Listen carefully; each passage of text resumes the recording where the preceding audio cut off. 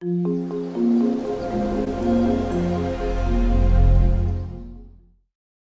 think I was in eighth or ninth grade, and uh, my friends were playing hockey, and one day I decided to go with them, and that's how I started to play hockey with them. And then I realized the importance of sports in your life as well as the team game in your life. Then I went to medical school, finished my med school, went to US with my husband, Bhavi, and he joined University of Chicago for his MBA program. And there, there was a program called Giving Something Back to the Community. And um, I joined the program, which was like you have to go and be with neighborhood underprivileged kids, spend one hour with them. So that's what I did, and I realized that volunteer work can achieve so much. And then move on with life. Move to Hong Kong with my two boys. And since they were young, I always wanted, I took them to the playground in the evening for two hours and we, it became a ritual for us that we have to be on the field every day out of the house, doing some activity outside the house, not watching TV or anything. And I wanted them to develop the passion for one sport in their life which they can enjoy playing as well as watching and talking. Their school had a season for field hockey, t-ball, as well as football. So they picked up all three games they were playing. Then one day we decided in 2004 that we'll be moving back to Ahmedabad. And here we are, and I'm looking for some opportunity for my kids to continue their passion for sports. And I could not find anything organized for them to go and continue with their passion. They were just 8 and 10, and school said no, they are too young to play. They cannot participate in any sports, in any that age. They have to wait for another three and five years, and I said that's a long time. And by then they will lose the interest, they will lose whatever they have learned in Hong Kong and also their stamina, athletic. They'll lose out on everything. So I started looking for a ground somewhere and one school in Bopal offered the ground. So we started playing football. I was coaching them, which was outside Ahmedabad Sunday morning, only holiday for so many parents, and instead of relaxing, they are bringing their kids for an activity in the morning for two hours. Initially, I saw the enthusiasm in the parents, but slowly it started dropping off because they also wanted to take some rest. So the number of students started dropping, and I realized it's 13 games, so at least you need 22 players to continue. So I said I'll find a ground in, within the city of Ahmedabad where transportation cannot be a hurdle. So I found one ground at Shreyas Foundation and we started coaching there. So now I have to look for a coach because I can't continue. So I found one player from one school in Ahmedabad and he was player himself, never coached and things like that. So I brought him and spoke to him about the coaching. So two boys of my own, two of them, their friends, and one another boy. So we had five boys in the beginning was going on like that for six months And then my son started saying that, Mommy, this is a team game and we are just five of us. How do we play? We need at least more players. And I was also a bit frustrated now what to do, how do I bring more kids? So my coach, he was like so motivated. After every session, he's like, हम होंगे कामयाब हम होंगे कामयाब हम होंगे कामयाब एक दिन so he's singing this song every after every session and encouraging me just give some time and then we started calling some schools teams to come and play with us so at least we have two teams to compete with each other and maybe after summer, whatever, God knows what happened, but boys started coming in. So now the problem was how to keep them motivated. That we need some kind of challenge. They were just competing against each other. And after a while, it became boring. So then we decided to launch a tournament all the tournaments, whatever was happening in Ahmedabad at that time was either knockout or also uh, only for schools to participate. So if your school is not playing, participating in the game, you can't play. So that's what we created with the help of Syntex Industries. We made a tournament which was for youth where anyone can participate you can make your own team, or if you don't have a team, come to us and we'll make a team for you. So there were so many boys outside the school, they started playing football. So that's how Syntex Cup uh, took birth. And this year we are completing the ninth Syntex Cup. Now it's spreaded all over Gujarat and all the teams from Gujarat, they play against each other and then champions, they come to Ahmedabad and they play a champions trophy. So,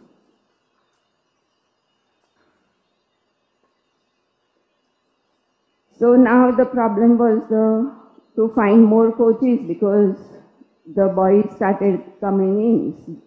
So to find the coaches was also another problem because there was no culture of training for football in Ahmedabad. So I had to go and find the players, then stand with them on the ground, teach them because they didn't know how what to speak. All those players were coming from the uh, not so good background because they were footballers first. So I had to teach them how to handle the kids, what kind of language to use with the kids.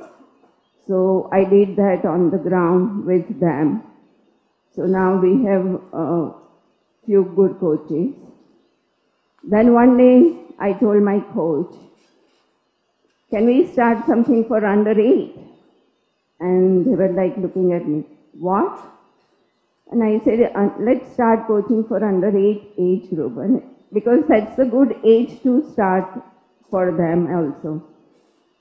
So he initially they said no, and I said let's try it out for a three months and see if it works. It works. If it doesn't, then there is nothing to lose. And that was the HIT program we had uh, from underage. Um, so many boys they started coming in and playing football, and felt real. It felt really good. So after a couple of years,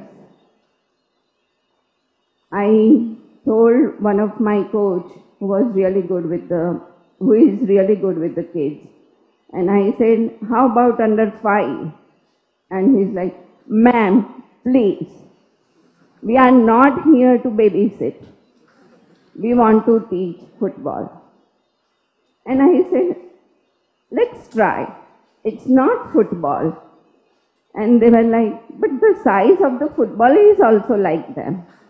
How can they play football? And I said, no. And then I showed them a video of my son who was playing in Hong Kong.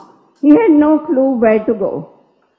He was just running with the football, scoring goals anywhere in any goal So he said, okay, let's try. And so that's how we started under five. And now, I guess in Ahmedabad, the whole community from under three, I mean, three years old to anyone is playing football. So,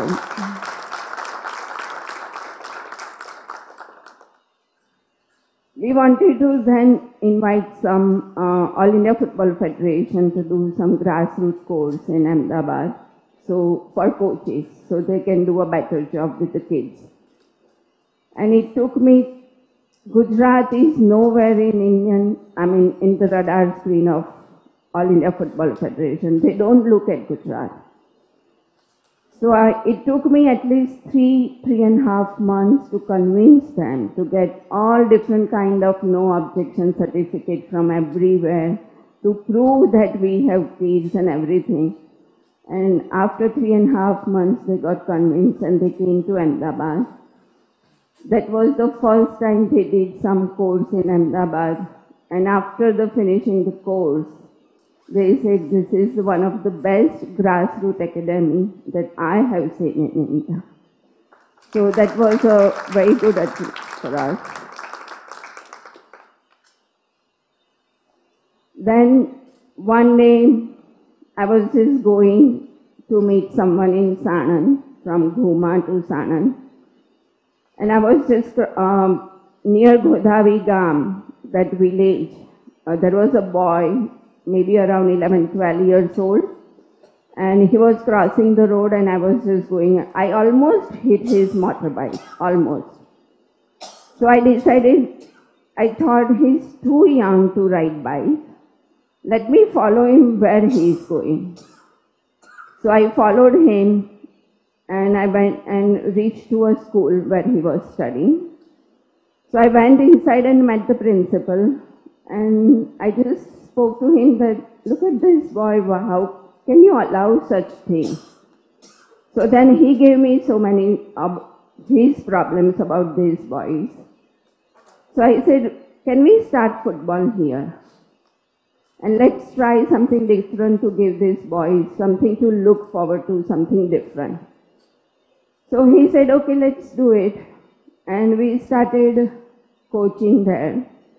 7 a.m. in the morning, 15, 20 boys came on a motorbike, 11, 12 years old, with tobacco and pan inside their mouth.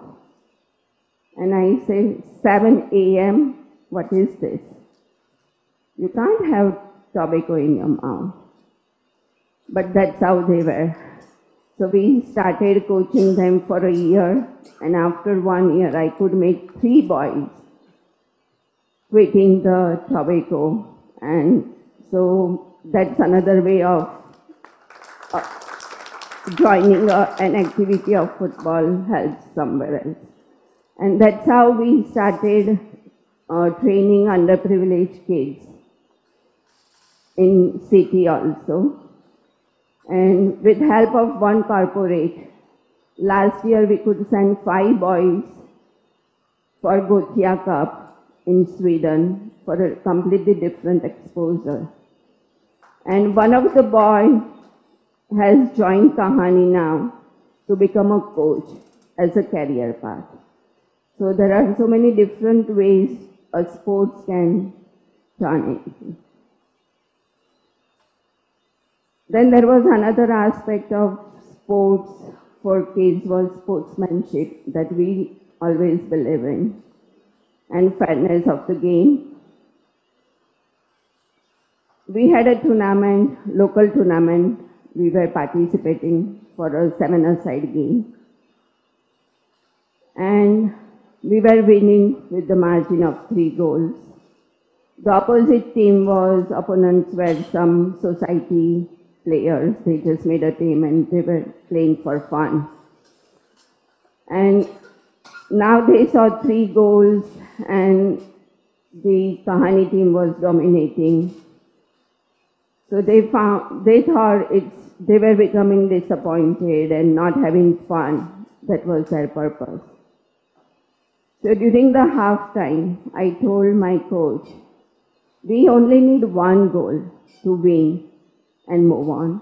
Now we have three goals and the opposite team is getting frustrated and not having fun and that is not our aim. Everybody should be able to enjoy.